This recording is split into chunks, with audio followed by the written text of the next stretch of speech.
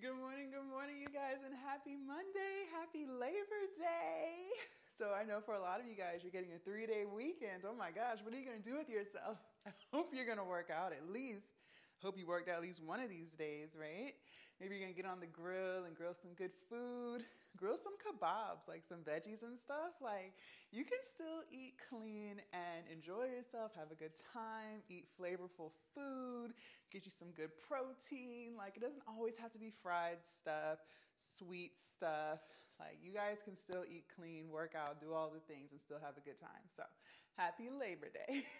Yesterday was my rest day. I needed it. I'm so glad I took it feel great. I got to bed super early last night, so I am running off of nine hours of sleep. So kudos to Jazz. All right.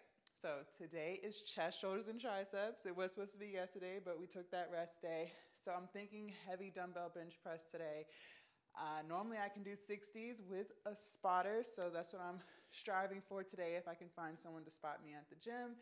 And I'll do some more calisthenics work, so some chest dips assisted and some tricep dips. That's what I have on my agenda for the gym today. And I'll probably even throw in 20 minutes of some type of cardio.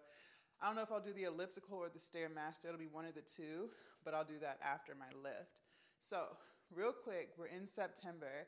I encourage you to audit your life, okay? Audit the fuck out of it. Audit what are you doing on a day to day? Are the things that you're doing helping you reach the goals that you want to reach, right? Are the people that you are associating with yourself with, are they helping you or hindering you, right? A lot of times the reason why we can't get to where we want to go, number one, it's our own fault, right?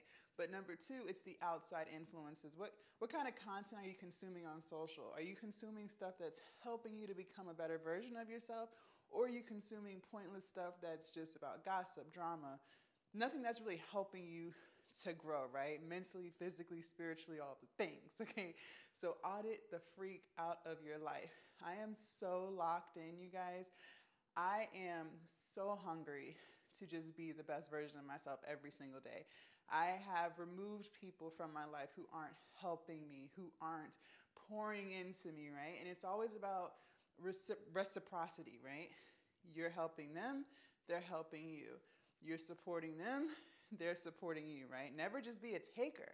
You also got to give, right? But if you're giving, giving, giving, supporting, supporting, supporting, loving, loving, loving, pouring, pouring, pouring, and you're not receiving that same energy, slice and dice.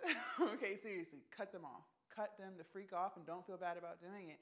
Your energy is priceless. You cannot reach the goals that you want to reach if you are constantly feeling drained, if you're constantly feeling anxious and all those negative emotions, okay? So, audit your life, audit your circle. If you do have friends who support and love and all the positive things, consider yourself blessed. consider yourself very, very blessed because not everybody has that, right? But also look at yourself. What are you doing or what are you not doing that's keeping you from reaching your weight loss goals, your fitness goals, your business goals, just your mental health goals? Okay, so work on that. It's September.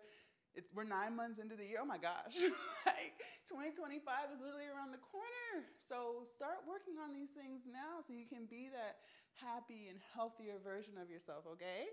I'm gonna finish getting myself together and I will see you guys at the gym. Bye.